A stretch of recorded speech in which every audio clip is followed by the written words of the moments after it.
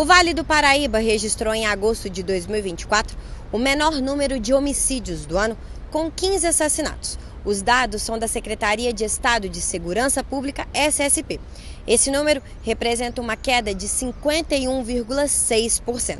O Coronel Alves, comandante do Policiamento do Interior 1, explica as ações da PM que contribuíram para a diminuição dos índices criminais. Os roubos caíram, assim como todos os outros é, indicadores criminais na nossa região. Como eu falei, uma da estratégia utilizada foi retirar das ruas aqueles marginais que estavam procurados pela justiça. Outra, né, nós tivemos apreensões aí, recordes também de armas de fogo que foram recolhidas mais de 500 armas de fogo recolhidas até o período é, de 30 de setembro, é, muita prisão e apreensão de traficantes e entorpecentes, lembrando que a droga é um grande carro-chefe de todos os outros delitos.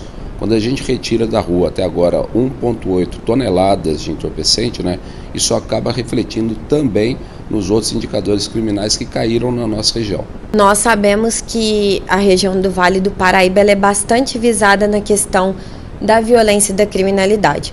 Mas com a queda desses números, é, qual a projeção para os próximos meses, é, comandante? Vamos continuar trabalhando forte. É,